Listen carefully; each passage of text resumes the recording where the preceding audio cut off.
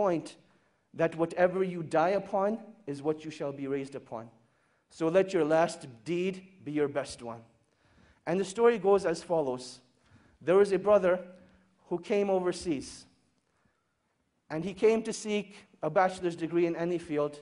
And the natural climate was that this was the first time he got freedom from his family. In his society, people are very religious, very practicing. He couldn't have the fun that he wanted to have. So he comes to a place like England, he's in a free mixing university. In a society where no girl looks at you, in fact, there are no girls in your class, now all of a sudden they're sitting next to you. And you can actually find an excuse to talk to them. Hey, can I borrow a pen? Hey, can I borrow some paper? And conversation becomes very easy. And now that you have a foreign accent, oh my God, you're a fitna for them. And this was the reality that he went through, that he came from a foreign land, and this attraction hit him right away. The initial stages were that he'd just go out for lunch, he'd just go out for meetings, and that is how life continued. He never actually committed zina. One day, though, he went to a party and he committed zina. Out of, you know, pure emotion, he committed zina. And when he was done, he just lay there thinking, I have just ruined myself. And he didn't know what to do. He didn't know where to go. He didn't have any close friends that could guide him. He knew that the only place that this guidance that he had known was back in his hometown. He booked a ticket back to Saudi Arabia where he was from. And on his way, he had a stopover in the city, in the country of Qatar. While he's in Qatar, he goes to the musalla and he's just crying. And you'll see that this is one of the most awkward situations that you'll have.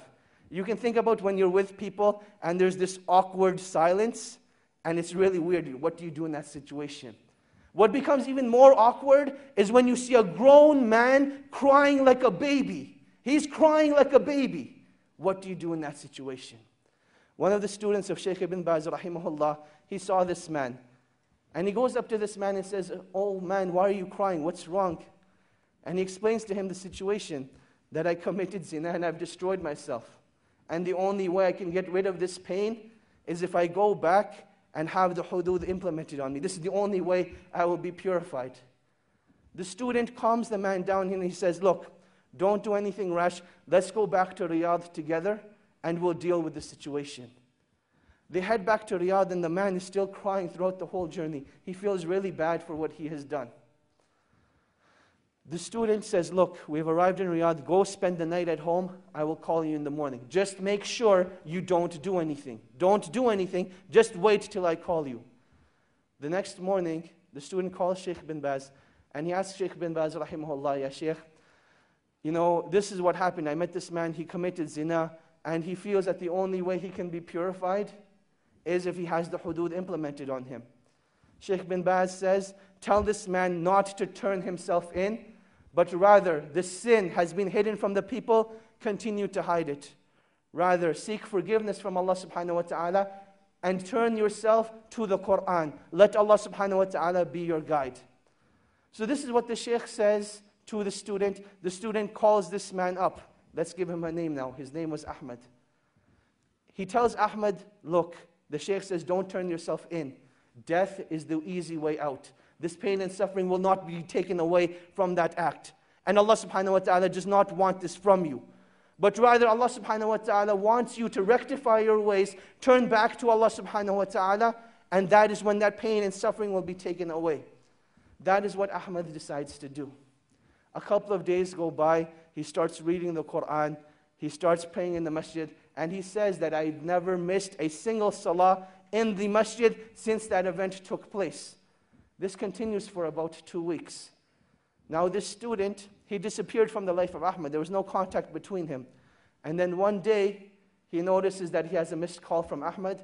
He says, Later on, I'll give him a call. Another couple of days go by, and Ahmed's house is calling now. His home number is showing up on the Sheikh's phone five, six times.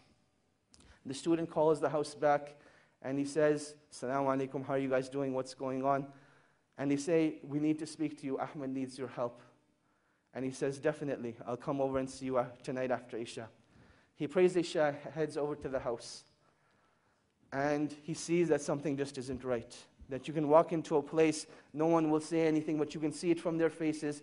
You can see it from their sights that something just isn't right. He goes to the father and he says, Salaam alaikum. He says, Wa alaikum assalam. He says, I don't even know what to say to you, but I want to thank you from the bottom of my heart. Because I know if it hadn't been for you, this wouldn't have happened. And the student's thinking, What did I do? So he says, You know, what happened? What are you talking about?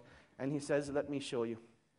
He says, Ahmed went and prayed Salat al Isha tonight. And he came back and he came to pray his sunnahs. And he was in his room for a really, really long time. And we went to seek him out. We didn't know what had happened to him. But I want to show you. He took the student to Ahmed's room. And there Ahmed was in sajda. And Allah subhanahu wa ta'ala took his life away at that time. And that is how he passed away. This is the story of an individual not who was righteous, but this man committed zina, one of the biggest sins in Islam. And this is how Allah subhanahu wa ta'ala took his life away. And inshallah, when he's resurrected, that's the deed he's going to be resurrected on, making sajda to Allah subhanahu wa ta'ala.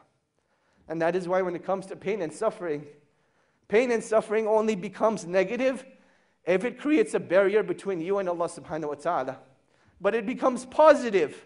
Pain becomes positive, a motivation for you when it brings you back to Allah subhanahu wa ta'ala. And this is what every individual who's going through pain and suffering needs to realize.